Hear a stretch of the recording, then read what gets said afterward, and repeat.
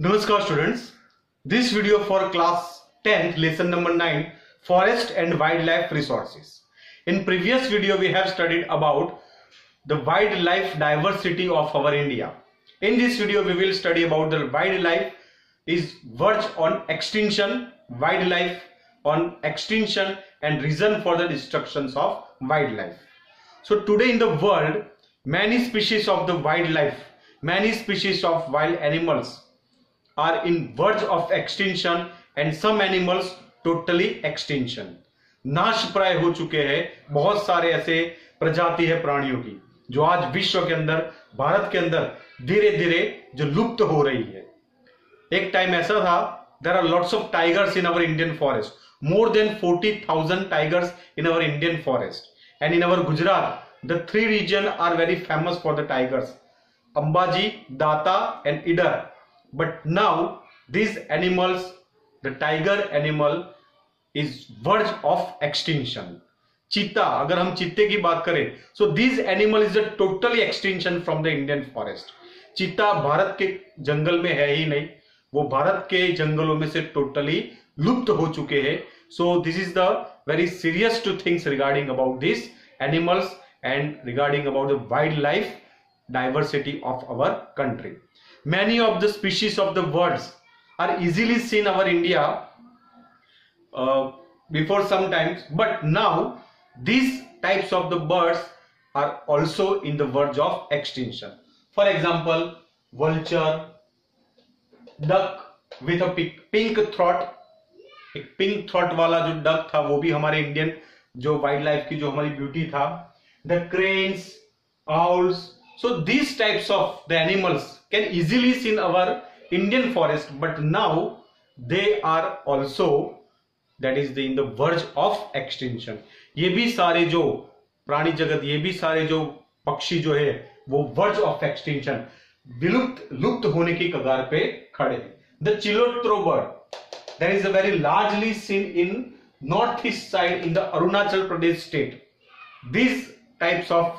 the birds now is also in the verge of extinction. Alligators जो crocodiles है that is a is in we can see the in fresh water of our Indian rivers. These animals are also in the verge of extinction. The sea turtles that is approaching the uh, coastal boundary of the Gujarat and the Odisha coastal boundary that is easily uh, can see in the before sometimes but now these sea turtles are also the facing the problem of their survival. So it is a very serious conditions of the wildlife the animals of our india. The waterfowl that is the jal biladi in gujarat it is also known as the jal biladi these types of the animals we can easily see from our indian rivers of narmada tapi mahi and sabarmati rivers. But now the condition is changed that is, these types of the animals are also in the verge of extinction. Verge of extinction मतलब विलुप्त, लुप्त होने की कगार पे खड़े हैं कि अगर इस स्पीशीज को बचाया नहीं गया तो आने वाली जनरेशन शायद उसको फ़ोटो में पिक्चर्स में और वीडियो में ही देख सकेंगे जो उसका जो स्पीशीज है, जो प्रजाति है, वो टोटली नाशप्राय हो जाएगी, लुप्त हो जाएगी, अगर उसको बचाया नहीं गया तो। So it is very serious to thinking regarding about this to save our wildlife. Now we will study the topic, the important topic, reason for the destructions of the wildlife. ये वाइल्ड लाइफ जो है वो क्यों destruction हो रहे वो क्यों नाश हो रहा है क्यों ये जो इंडियन uh, फॉरेस्ट में से this types of the wild wildlife beauty has disappeared from our Indian forest so there are some reasons we will study one by one the reasons for the destructions of the forest. The first reason is due to the interference of the human, the human activity. You all of you know the human activity is the responsible is the main responsible for the destructions of wildlife. ये जो मानवीय प्रवृत्ति है आज हमारा जो हम देश जो 1947 में जब हमको ये देश मिला था तब उसका जो एरिया था वही एरिया आज है लेकिन पॉपुलेशन तीन से चार गुना बढ़ गया है। आज़ादी के टाइम का पॉपुलेशन और आज का पॉपुलेशन तो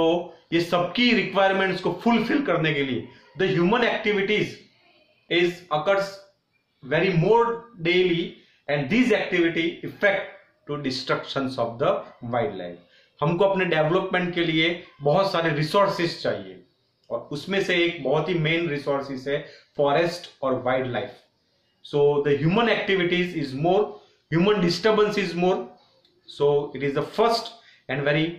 the effective the reason for the destruction of the wildlife due to the human interfere मान्य मा, इंसानों की जो इंटरफियर है वो बढ़ गई है रिसोर्सेज के ऊपर नेचुरल रिसोर्सेज के ऊपर. So second is the destruction of the forest the forest is habitants the forest the inhabitants of the wildlife of different types of the species of the wildlife जंगल जो है, वो ऐसी सारी प्रजातियों का जो घर है, जैसे इंसान अपने सिविलाइजेशन एरिया के अंदर रहता है, ऐसे प्राणियों के लिए, इस तरीके से wild life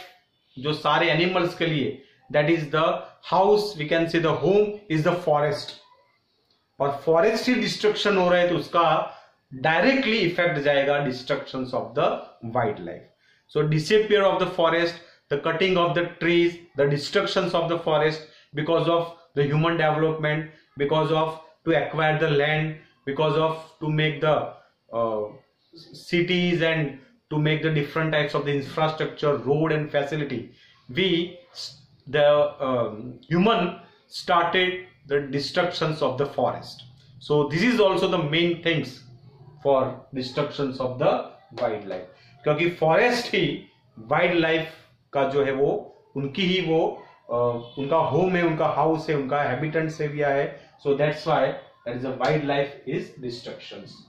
Next, the hunting animals. Hunting animals की अगर बात करें तो पहले राजा महाराजाओं शौक अपना हॉबी था एनिमल्स को मारना then after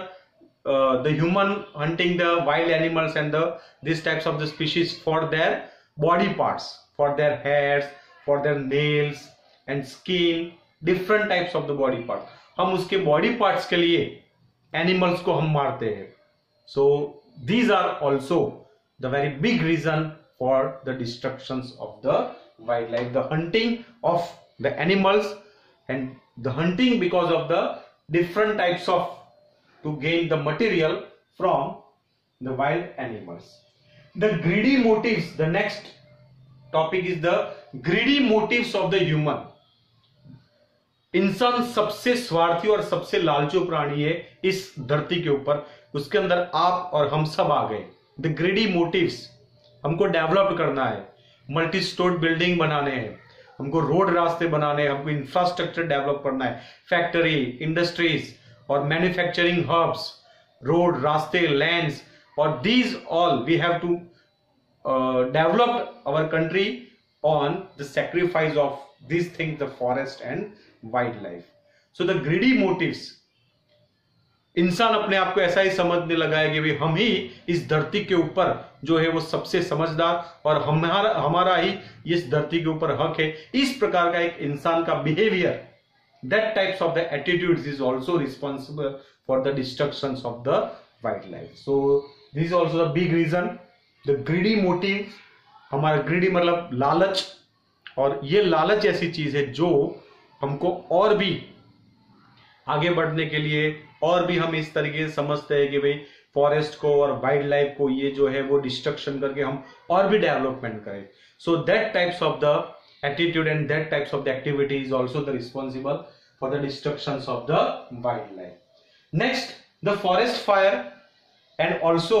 in the forest we gain different types of the wood for the fuel हम ईंधन के लिए उसको जलाने के लिए लकड़ियाँ यूज़ करते हैं। That is also the responsible for the destruction of wildlife and the forest fire दो प्रकार की जंगल की आग है। एक मैन मेड और एक natural in the natural because of the friction of the branches of the trees in the specially for the summer season तो नेचुरल इस तरीके से आग लगती है। Second this types of the forest fire occurs due to the irresponsible attitude of the human. इंसान की जो बेजवाबदार जो प्रवृत्ति है, जंगल में जाते हैं विजिटिंग करते हैं, वहाँ पे वो लोकल एक्टिविटी होती है, वहाँ पे खाना पकाने के लिए आग जलाते हैं, और इस प्रकार की वहाँ पे एक्टिविटी होती है, और उसके बाद वो आग को सही तरीके से बुझाते नहीं है और एक एक चिंगारी पूरे जंगल में आग लगा सकती है। So that types of the human attitude that types of the human activity is also responsible for the forest fire and in the forest fire the millions of the animals have to suffer जैसे अभी एक news में आया था, कोई एक देश के अंदर एक बहुत ही बड़ी जंगल के अंदर एक आग लगी थी और उस आग के अंदर लाखों जो एनिमल्स जो थे, वो मर गए थे। The forest fire is also the responsible for the destruction of the wildlife now, the human come in the conflict with the animals also. Because of the destructions of the wildlife, हमने animals के जो घर है, वो छीन लिए, उनके forest है, वो डिस्ट्रेपियर हो गए, उसके ट्रीज हमने काट दिए। फॉरेस्ट को हमने, इंसानों ने अपना लैंड बना के वहाँ पे अपनी दुनिया बसा ली इसलिए एनिमल्स जो थे वो अपनी दुनिया खो चुके। नाउ द एनिमल जो भी बचे कुछ जो एनिमल्स है now the direct conflict with the human इंसानों के साथ डायरेक्ट कॉन्फ्लिक्ट में आते हैं, संघर्ष में आते हैं। आपने न्यूज़ में कहीं देखा होगा कि the tiger entered in the some villages the lion entered in the some villages and direct conflict with the human and the human that is a destroy that animal फिर इंसान अपने आपको बचाने के लिए समाज को बचाने के लिए वो प्राणी को वो एनिमल्स को मार देता है। So that types of the conflict is now more and more in this society because of the forest uh, remain very less in our country and in our state also Gujarat के अंदर तो सिर्फ़ 10 टका ही forest है और पूरे भारत के अंदर 22 परसेंटेज फॉरेस्ट है। And as a geographical condition at least minimum 33 percentage forest area geographical area should be at particular region but in India 22 percentage and Gujarat only 10 percentage तो प्राणियों के लिए रहने की जगह नहीं है तो डायरेक्ट वो ह्यूमन के साथ कॉन्फ्लिक्ट में आते हैं और संघर्ष में वो मारे जाते हैं।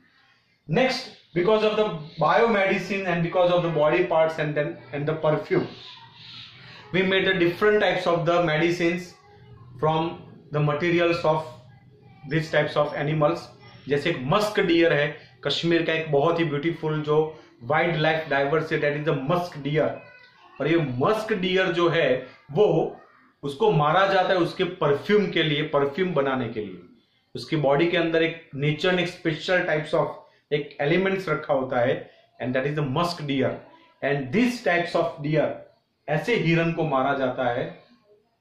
उसके अंदर की जो खुशबू है वो प्राप्त करने के लिए, जिससे हम अलग अलग प्रकार के परफ्यूम बना सके और मटेरियल बना सके। So because of this reason to make a different the biomedicine the medicine and different types of the cosmetic items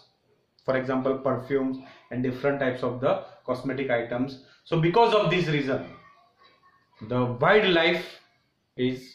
in the verge of extinction reason for the destructions of wildlife so these are total seven reason for the destructions for the wildlife in next video we will study about the measures to preservation of wildlife and different project of different animals कि wild life को बचाना है तो हमको क्या measures हमको कौन से स्टेप्स लेने चाहिए so we will study this things in our next video and also we will study the different types of the project project lion project tiger project crocodile. So all these things we will study in our next video. Jai hind.